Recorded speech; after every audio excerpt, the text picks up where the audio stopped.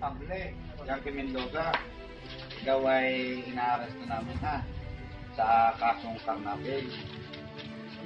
Na may criminal case number na 20-2020 inisyu ni Judge Executive Judge Mary Jane Valesa Marana.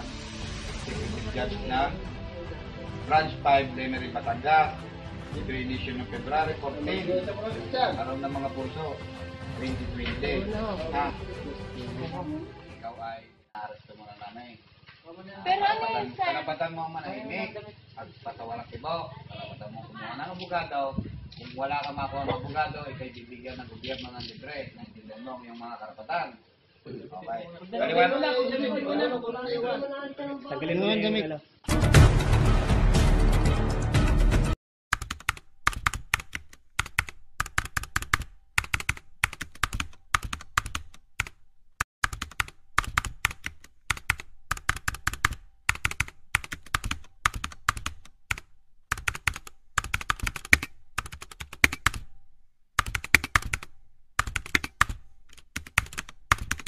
Several days later.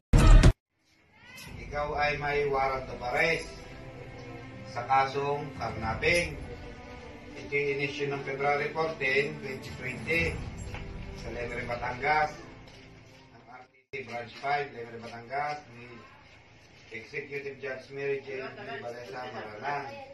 Ikaw ay inaaresto namin, ha? Karapatan mong manahimik at patawalang sibaw. Karapatan mong kumuha ng abogado. Kung wala, ikay bibigyan ng gobyerno ng libre. Naintindihan mo ba iyong mga karapatan?